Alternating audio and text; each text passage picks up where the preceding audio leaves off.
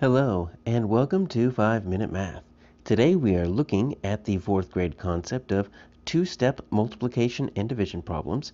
This is standard 4.4H in the great state of Texas, and we are using item number 11 off the 2022 released STAAR test.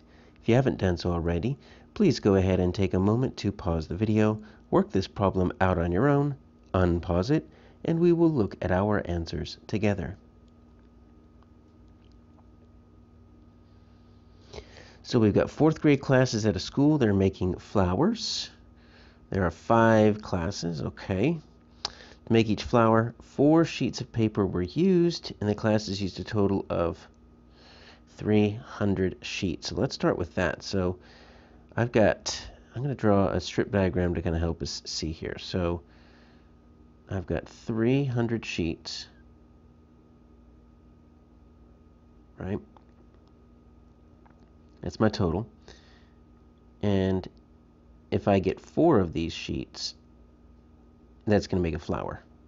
I take four sheets uh, to make each flower. So each, each, look at all those eaches. When you see each, all of those three eaches make you think equal groups. So when we're thinking equal groups, that's going to either be multiplication or division or possibly both. So I've need four sheets of paper to make one flower. How many flowers can I make out of those 300 sheets? Well, this is how I would represent it with a strip diagram. How many fours can go into 300? I don't know. Let's do a little division here. I know my fours, but I don't know my fours all the way up to 300. So I can multiply by something, I just don't know how. I don't know my fours past a certain point. All right, so 4 doesn't go into 3, but 4 does go into 30 right there. Almost 8 times, not quite. So we'll make it 7.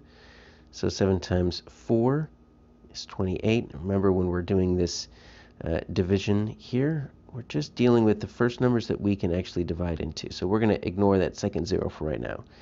30 minus 28 is 2. We check to make sure that that 2 is smaller than the divisor. If the remainder is not, we did something wrong, but 2 is smaller than our divisor, so we're good. Now we can bring down one digit at a time. There's only one digit left. Now we need to divide all over again, but look at 4 is going to go into 20 and even 5 times. Okay, so there's going to be no remainder.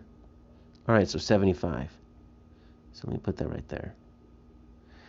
All right, so I can make 75 flowers. So 75 flowers.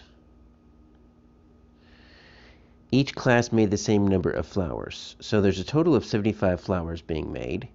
Each class, look at this, goes right back up here. There are five classes. All right, so now I've got a second strip diagram. I've got a new total. I've got 75 flowers. And I've got five classes. And each class made the same number of flowers, so we're doing equal groups again. Alright, so I need to take my 75 and I need to split it into five equal groups. So 5 goes into this first digit, yep, one time. That's going to be 5. Bring that down, that's 2. 2 is smaller than 5. Okay, 5, 25 goes in there 5 times. Hmm. So I'm thinking I'm thinking my answer is 15. But that's a lot of dividing. Uh, let's let's make sure that I did this correctly. All right, so if I've got five classes, and each class made 15 flowers, that's going to be 5. Okay, so I've got 75 flowers, which is what I had right here, okay? Each flower takes four sheets. It says that right there. So each flower takes four sheets. So that's going to be 20, 28, 30. Yeah, there's my 300 sheets right there. Okay, so I double checked my work.